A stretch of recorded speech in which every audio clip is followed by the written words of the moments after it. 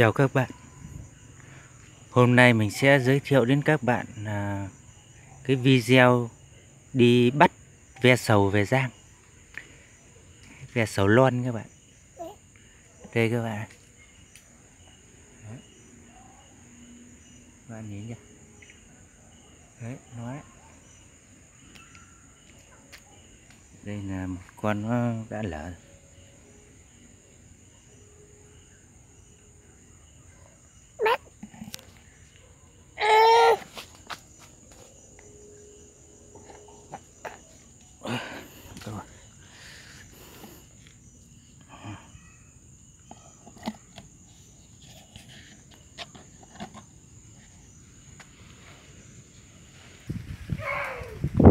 Đây các bạn.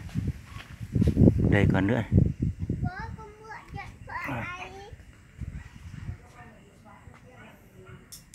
Mày đi về. Các bạn ạ. Đây. Đấy. Con này nó chưa lột, nó đang bò.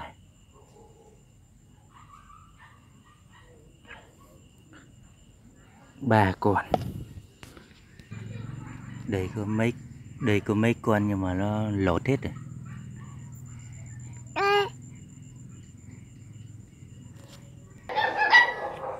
Đây các bạn. Đây. con này nó đang chuẩn bị lột ra Ừ.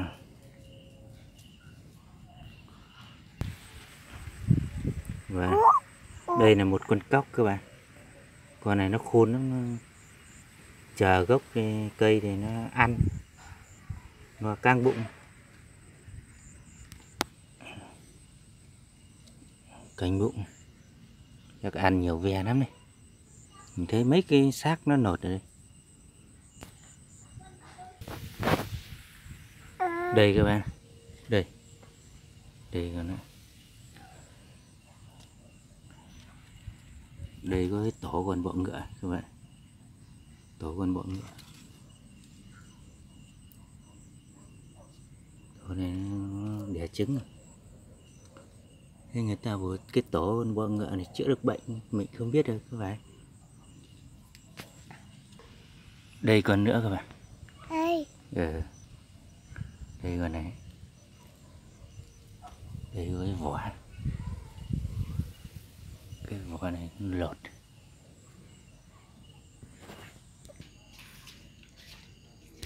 già này.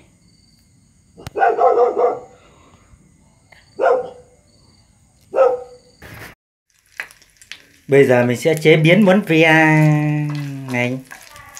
Cho mình rang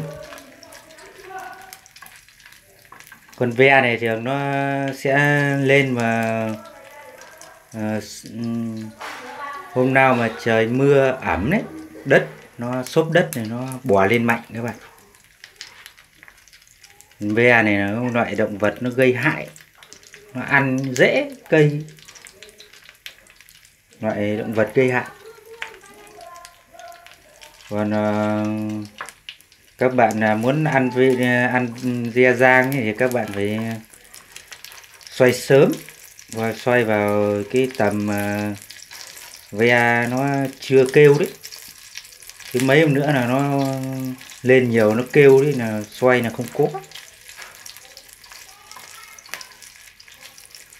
bây giờ mình à, nó bắt đầu nó mới ngoai lên là đầu mùa các bạn ve nó bắt đầu nó mới ngoai lên. Chế biến này à, mình, à, bây giờ mình chỉ có vài con cho mình rang.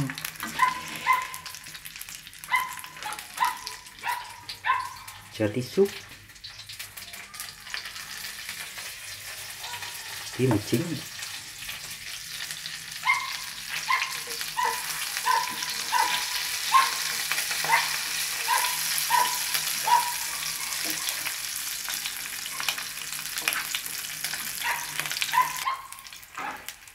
Vậy là ve đã chín.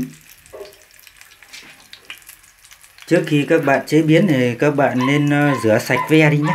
Vì là con ve này nó ờ, nhiều người ăn là cũng bị ngộ độc đấy. Thì là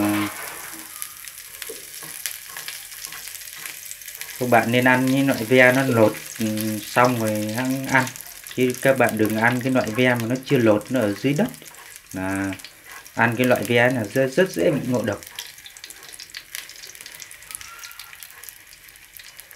Bây giờ mình à, mời các bạn à, thưởng thức với mình nhé. Cho lá chanh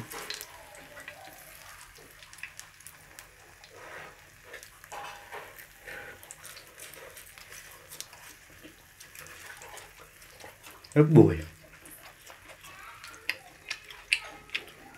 Ngon lắm các bạn. Béo.